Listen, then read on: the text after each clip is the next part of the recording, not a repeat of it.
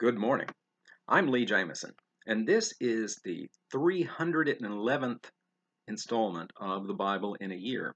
Today's readings include Jeremiah chapters 40 through 42 and Hebrews chapter 4. Jeremiah remains in Judah. Chapter 40.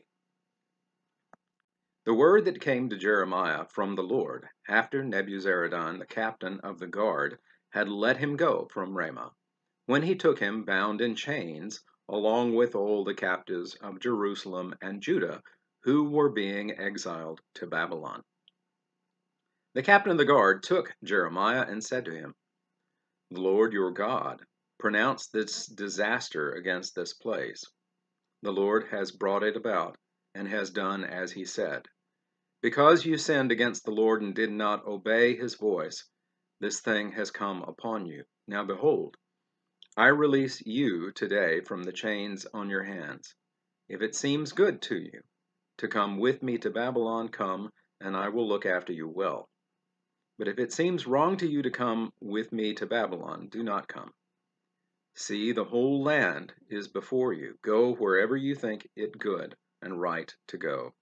If you remain, then return to Gedaliah, the son of Ahikam, son of Shaphan whom the king of Babylon appointed governor of the cities of Judah, and dwell with him among the people, or go wherever you think it right to go. So the captain of the guard gave him an allowance of food and a present, and let him go. Then Jeremiah went to Gedaliah. Then Jeremiah went to Gedaliah, the son of Ahikam, at Mizpah, and lived with him among the people who were left in the land. When all the captains of the forces in the open country and their men heard that the king of Babylon had appointed Gedaliah, the son of Ahikam, governor in the land, and had committed to him men, women, and children, those of the poorest of the land who had not been taken into exile in Babylon, they went to Gedaliah at Mizpah. Ishmael, the son of Nethaniah, Johanan, the son of Kareah, Seraiah the son of Tanhumeth, the sons of Ephai the Netophathite, Jezaniah the son of the Maachite, they and their men, Gedaliah the son of Ahikam the son of Shaphan, swore to them and their men, saying, Do not be afraid to serve the Chaldeans. Dwell in the land and serve the king of Babylon, and it shall be well with you. As for me, I will dwell at Mizpah to represent you before the Chaldeans who will come to us. But as for you, gather wine and summer fruits and oil, and store them in your vessels. Dwell in your cities that you have taken. Likewise, when all the Judeans who were in Moab, among the Ammonites, and in Edom, and in other lands, heard that the king of Babylon had left a remnant in Judah, and had appointed Gedaliah the son of Ahikam, son of Shaphan, the governor over them, then all the Judeans returned from all the places to which they had been driven, and came to the land of Judah, to Gedaliah at Mizpah. And they gathered wine and summer fruits in great abundance. Now, Johanan the son of Kareah, and all the leaders of the forces in the open country, came to Gedaliah at Mizpah, and said to him, Do you know that Baalis, the king of the Ammonites, has sent Ishmael the son of Nethaniah to take your life? But Gedaliah the son of Ahikam would not believe them. Then Johanan the son of Kareah spoke secretly to Gedaliah at Mizpah. Please let me go and strike down Ishmael the son of Nethaniah, and no one will know about it.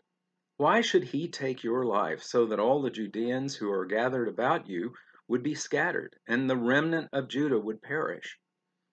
But Gedaliah the son of Ahikam said to Johanan the son of Kareah, You shall not do this thing, for you are speaking falsely of Ishmael.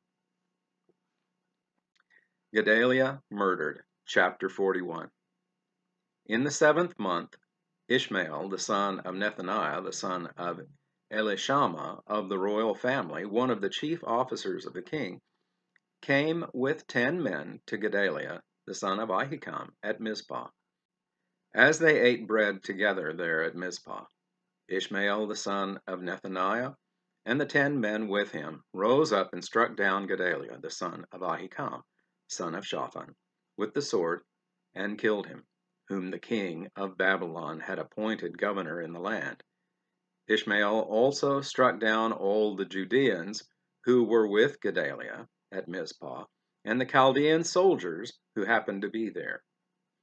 On the day after the murder on the day after the murder of Gedaliah, before anyone knew of it, eighty men arrived from Shechem and Shiloh and Samaria, with their beards shaved and their clothes torn and their bodies gashed, bringing grain offerings and incense to present at the temple of the Lord.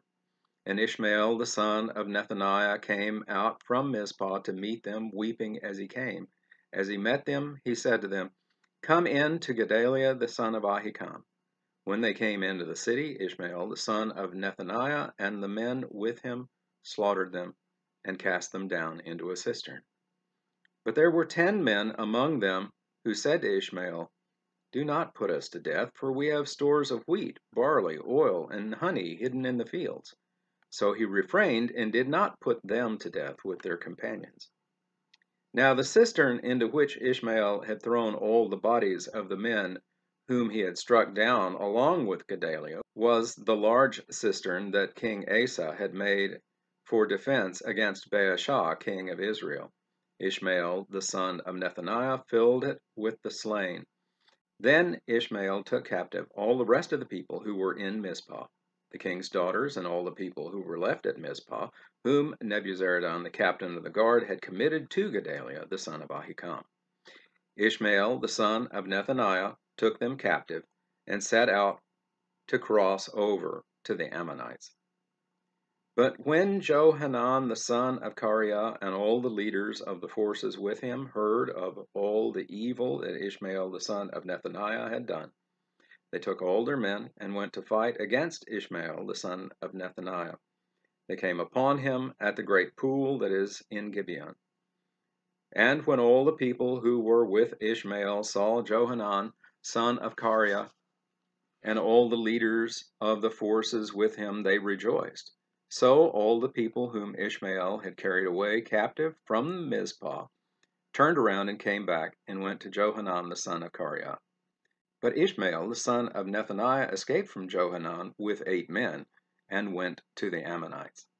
Then Johanan the son of Kareah and all the leaders of the forces with him took from Mizpah all the rest of the people whom he had recovered from Ishmael the son of Nethaniah after he had struck down Gedaliah, the son of Ahikam, soldiers, women, children, and eunuchs, whom Johanan brought back to Gibeon.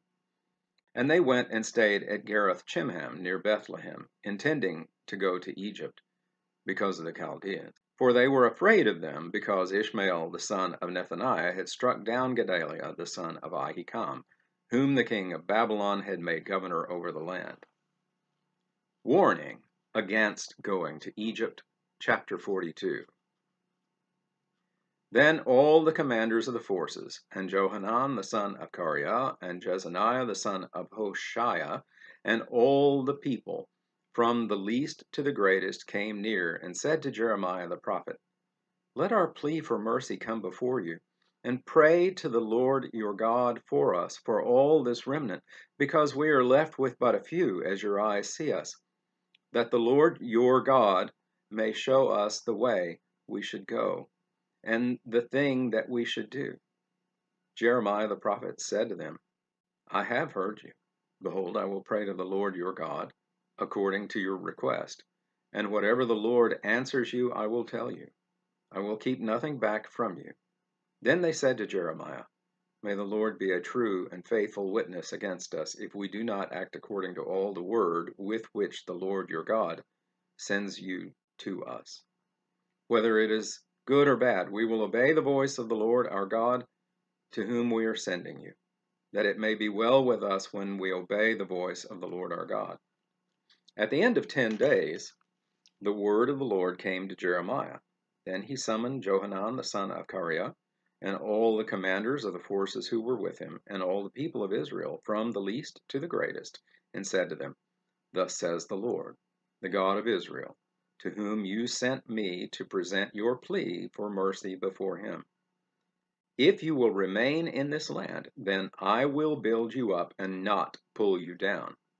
I will plant you and not pluck you up, for I relent of the disaster that I did to you.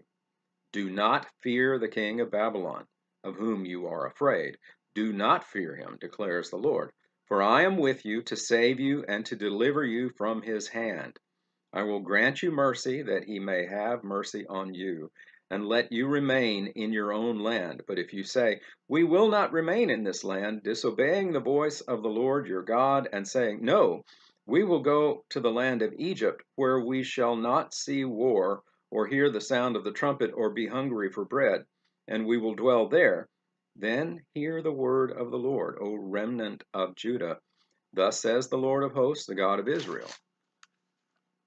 If you set your faces to enter Egypt and go to live there, then the sword that you fear shall overtake you there in the land of Egypt, and the famine of which you are afraid shall follow close after you to Egypt, and there you shall die. All the men who set their faces to go to Egypt to live there shall die by the sword, by famine, and by pestilence. They shall have no remnant or survivor from the disaster that I will bring upon them. For thus says the Lord of hosts, the God of Israel, As my anger and my wrath were poured out on the inhabitants of Jerusalem, so my wrath will be poured out on you when you go to Egypt. You shall become an execration, a horror, a curse, a taunt. You shall see this place no more. The Lord has said to you, O remnant of Judah, do not go to Egypt. Know for a certainty that I have warned you this day that you have gone astray at the cost of your lives. For you sent me to the Lord your God, saying, Pray for us to the Lord our God, and whatever the Lord our God says, declare to us, and we will do it. And I have this day declared it to you. But you have not obeyed the voice of the Lord your God in anything that he sent me to tell you. Now therefore know for a certainty that you shall die by the sword, by famine, and by pestilence in the place where you desire to go and live. And that concludes the reading in Jeremiah. And now Hebrews chapter 4. Therefore, while the promise of entering his rest still stands, let us fear lest any of you should seem to have failed to reach it. For good news came to us just as to them. But the message they heard did not benefit them, because they were not united by faith with those who listened. For we who have believed enter that rest, as he said, As I swore in my wrath, they shall not enter my rest. Although his works were finished from the foundation of the world. For he has somewhere spoken of the seventh day in this way, and God rested on the seventh day from all his works. And again, in this passage, he said, They shall not enter my rest. Since, therefore, it remains for some to enter it, and those who formerly received the good news failed to enter because of disobedience, again he appoints a certain day, today, saying through David, so long afterward in the words already quoted, Today, if you hear his voice, do not harden your hearts. For if Joshua had given them rest, God would not have spoken of another day later on. So then, there remains a Sabbath rest for the people of God.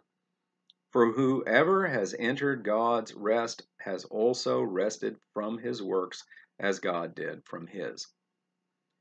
Let us therefore strive to enter that rest, so that no one may fall by the same sort of disobedience. For the Word of God is living and active, sharper than any two edged sword, piercing to the division of soul and of spirit, of joints and of marrow, and discerning the thoughts and intentions of the heart. And no creature is hidden from his sight, but all are naked and exposed to the eyes of him to whom we must give account. Jesus, the great high priest. Since then, we have a great high priest who has passed through the heavens, Jesus, the Son of God. Let us hold fast our confession. For we do not have a high priest who is unable to sympathize with our weaknesses, but one who in every respect has been tempted as we are, yet without sin. Let us then with confidence draw near the throne of grace that we may receive mercy and find grace to help in time of need. And that concludes the reading in Hebrews. Thank you for watching this video all the way to the end. To gain a wider audience for this series of videos, I ask a few favors of you. First, please like the video and subscribe to the channel. Uh, you can also click on a bell icon and that will make sure that you receive notifications when new videos come out. Then, if you have comments or questions, uh, even if they're critical, I want to hear from them. Be civil, of course. Uh, the YouTube algorithm rewards videos that receive audience participation. So uh, I appreciate your input. You are a part of this channel as well.